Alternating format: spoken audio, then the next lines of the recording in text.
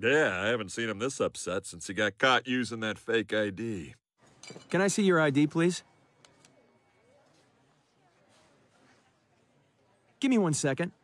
Uh, sir, that lady who came in and ate all the pies is back.